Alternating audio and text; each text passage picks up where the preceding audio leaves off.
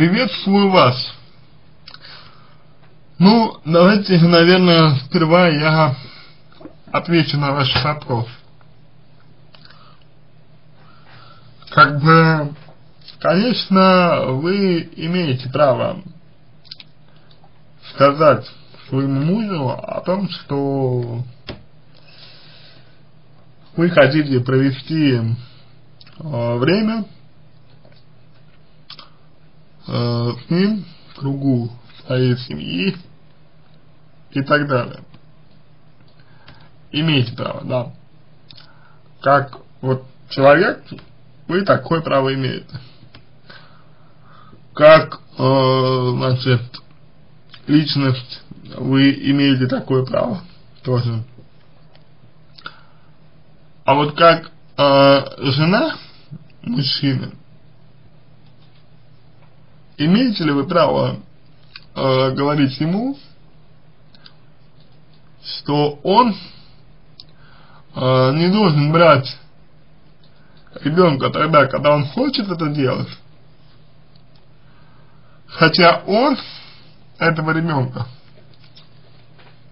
считает, ну, я уверен, он считает его частью своей семьи, то есть частью, частью себя, частью вашей семьи, если он а, так много времени проводит с ним. А, есть подозрение, что ваш а, муж, а, значит, испытывает чувство вины перед своим ребенком.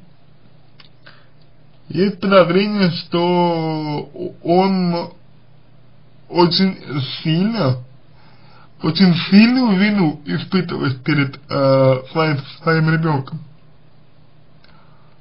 Вот другой вопрос, почему он испытывает э, это чувство вины, это уже другой вопрос, более интересный. Но вы спрашиваете же немножко не об этом. Вы спрашиваете именно о том, э, имеете ли вы право просить, э, попросить у своего мужа не брать, э, значит, там, ребенка вот на, как вы говорите, выходные, да, с ночи, э, ну, там, вот, с э, субботы на воскресенье и так далее. Вот, имеете, да, имеете.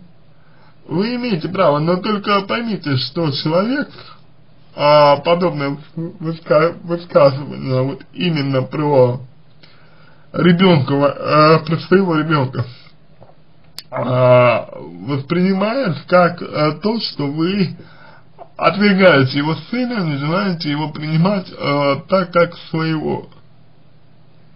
И как вы имеете право сказать это, правда, вот как жена, которая любит своего мужа. А раз любит, значит принимает и его, и его ребенка, тем более, что вы, скорее всего, знали о том, что у него есть этот ребенок. Вот как женщина, любимая женщина и любящая женщина, наверное, говорить такого вы не должны. Потому что, говоря подобные вещи, вы, еще раз повторю, не принимаете э, своего мужчину полностью. Значит, э, ваш мужчина, с другой стороны, опять же, э, имеет полное право, поскольку это его ребенок, э, значит, значит, взять его себе, настолько, насколько он хочет. И при этом, при этом, я понимаю, что основная проблема заключается в том, что он вам не уделяет достаточного внимания, ваш муж. И я понимаю, что вы очень много времени проводите э, с этим вот его ребенком. И я понимаю, что вам это неприятно. Но на самом-то деле э, проблема заключается немножко не в этом как бы это вот вам не было, не было э, неприятно, а проблема заключается на самом деле немножечко не в этом. Проблема заключается чуть-чуть в другом, в том, что у вас с вашим а, мужем нету а, четкого понимания, четкого осознавания, а, кто что из вас чего хочет. Так вот, а, по, по крайней мере, мне показалось, исходя из а, вашего сообщения. Вы говорите, имели я право говорить ему эм, то, что меня волнует? Да, имеете полное право говорить то, что вас волнует. А мужчина бежит от проблем, а не хочет их обсуждать с вами. На это есть две причины – и либо он боится действительно проблем, проблемы, тогда ваш мужчина трус, либо он э, не имеет достаточно стимула для того, чтобы обсуждать эти, эти проблемы с вами.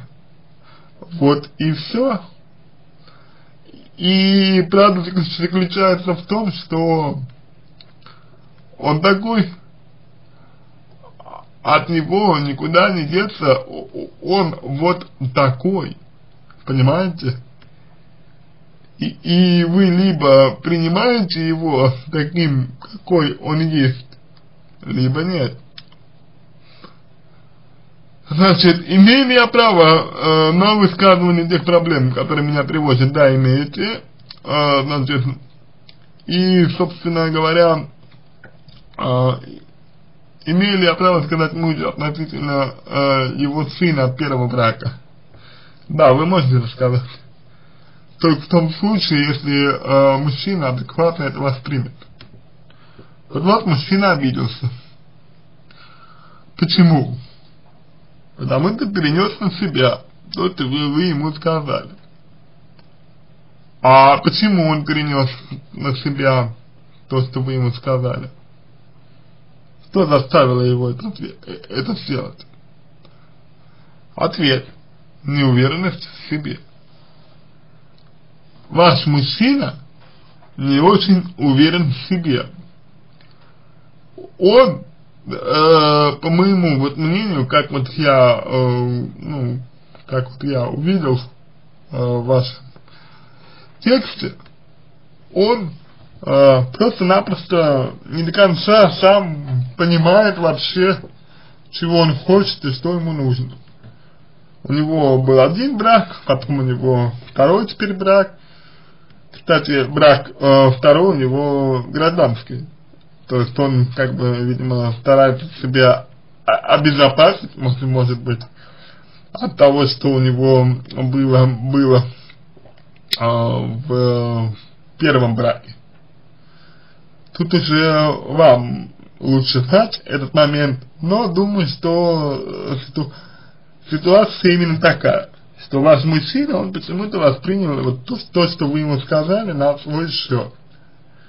Почему, почему он воспринял то, что вы сказали на свой счет, это уже вопрос к вашему, к вашему мужу. А вам нужно, на самом деле, а, больше думать о себе, а не о нем.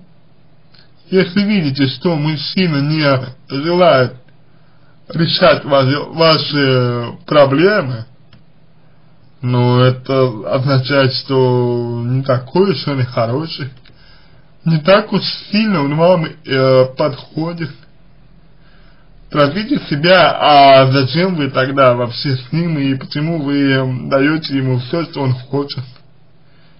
Если вы считаете, что он э, он вам уделяет мало внимания, ну, так, так э, не нужно тогда вести себя так, как будто все хорошо, не нужно э, спокойно принимать э, то, что он там, например, э, берет своего сына от первого брака на большое количество времени к вам и, и так далее. Понимаете?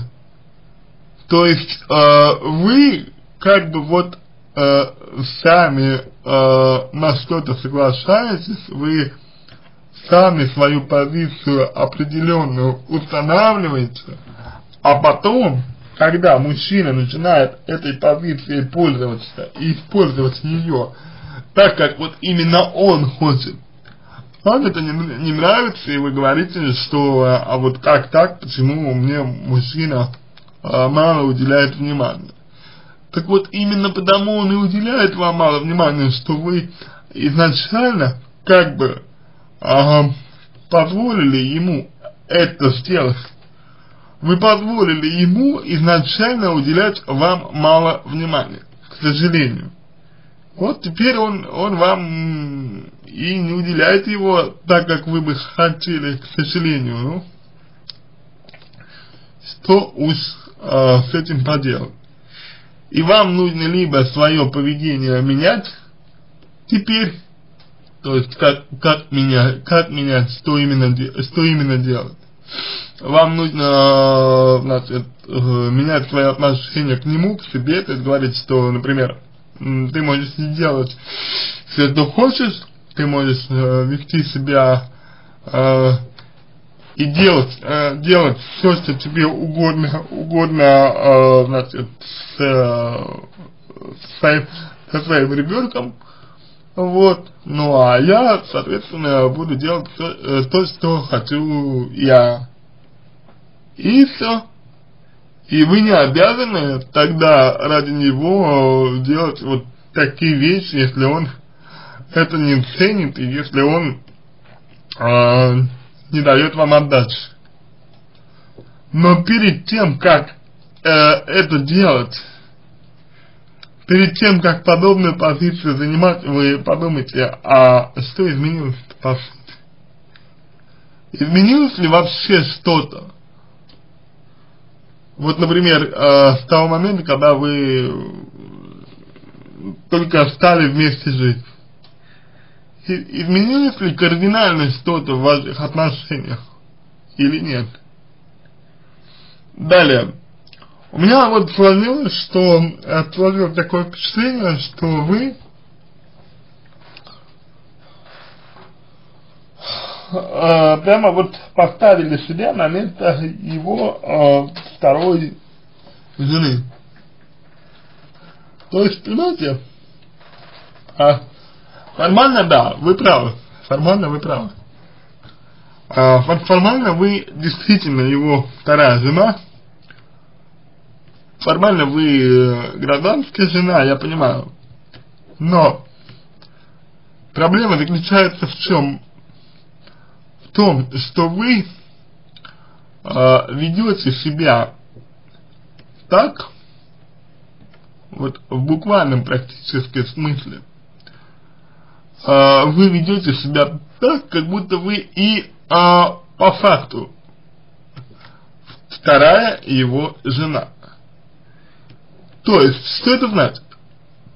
Э, где-то там, где-то там, э, значит, за кадром, за кулисами, а есть его первая жена.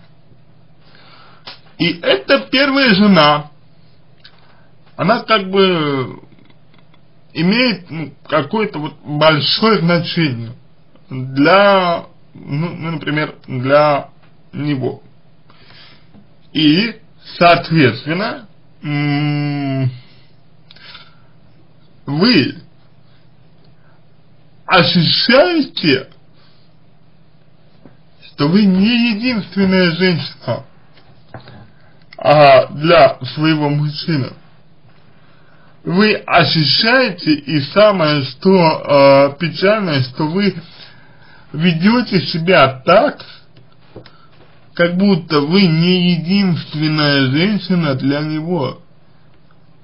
Вы говорите, имею ли я право, как вторая, э, значит, э, жена и так далее. Но вы единственная его женщина сейчас. Вторая жена вы только лишь по, ну, как бы это сказать, по э, хронологии. Вот в хронологичном порядке, да, вы действительно его вторая жена.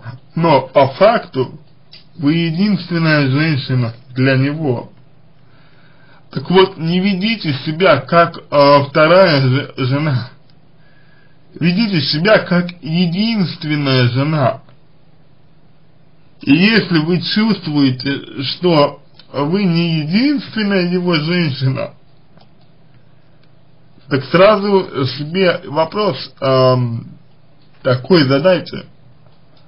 А если я не единственная его женщина, так стоит ли мне вообще с ним быть? Ради чего я с этим мужчиной, который внимания мне не уделяет, который времени, времени со мной не проводит, вот, а проблем бежит. Так стоит ли мне быть с этим человеком или нет? Вот вы подумайте на это, над этим как следует.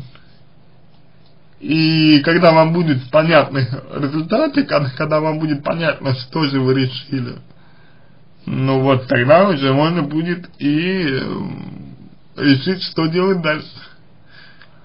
А ваш, ну вы можете ему сказать, да, вы ему скажете там что-то, и все. Ну а дальше что?